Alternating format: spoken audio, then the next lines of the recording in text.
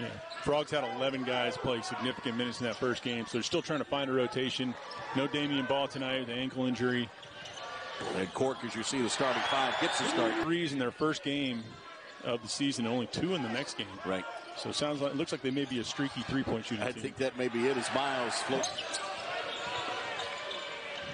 Napper trying to work it down low to Harris, and that was knocked away.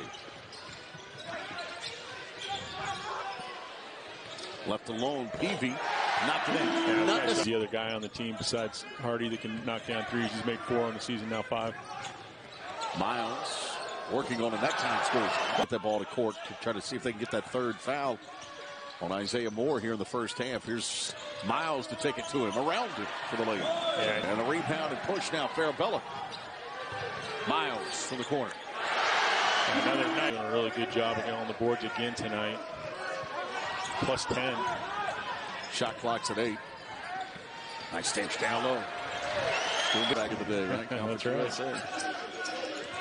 Miles with it out front now. Penetrates high up the glass. Here's a Miller. Miles. No, we talked last year. I remember. Here, here's Arnold moving. Uh, Charles Charles Barkley felt like every rebound was his.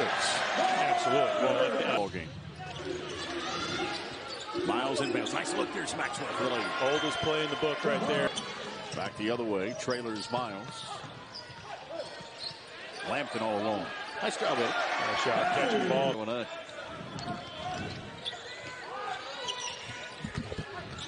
Here's Miles penetrates with the left hand and scores.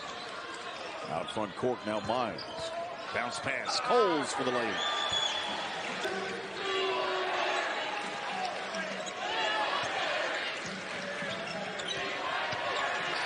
Here's Miles with a floater off the glass.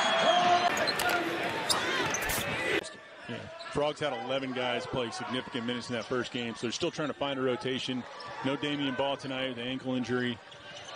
And Cork, as you see, the starting five gets the start. Threes in their first game of the season, only two in the next game. Right.